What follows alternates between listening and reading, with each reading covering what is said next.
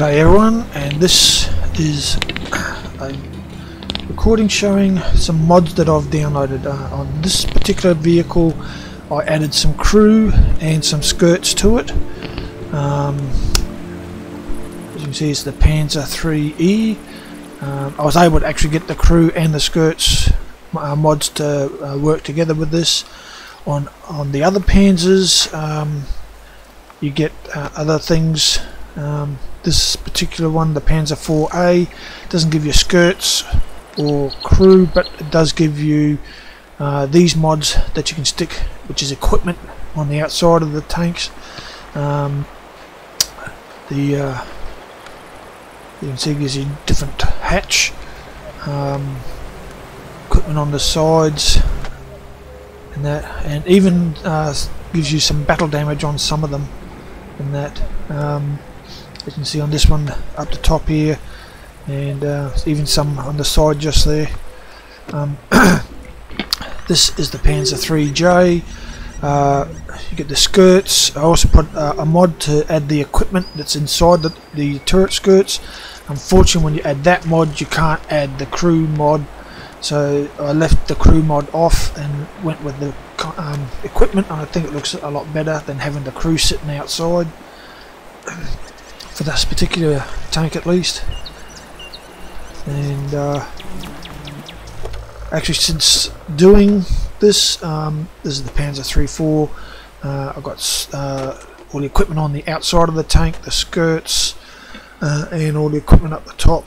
Um, as I was saying uh, since getting these mods uh, the World of Tanks has had an update and all the old um, it updated everything uh, in the folder on that and all the old updates being removed and replaced with the brand new update so I end up losing all my mods. Uh, so I've had I've been for the last couple of days been re uh, re-downloading the mods that I've had and putting them in and trying to get them to work because some mods have problems uh, of even update uh, downloaded some uh, extra mods uh, for the background so that I actually changed uh, I haven't played any games yet with the new mods, but uh, I've changed the um, uh, the tar uh, not, well not targeting, but the uh, when you're looking through the tank to fire at tank uh, enemy tanks, the targeting system is I've changed that so I can see it a lot easier. Um, I did do some mods for British tanks, but this is actually a Russian tank, which is a Lend-Lease one. Um, it was uh, uh, the, yeah the M3 Stuart that I got this mod for but after losing these mods I decided not to do this one again because basically I was losing my uh, camouflage scheme and whatever uh, emblems I stuck on it so I decided not to go with this mod again.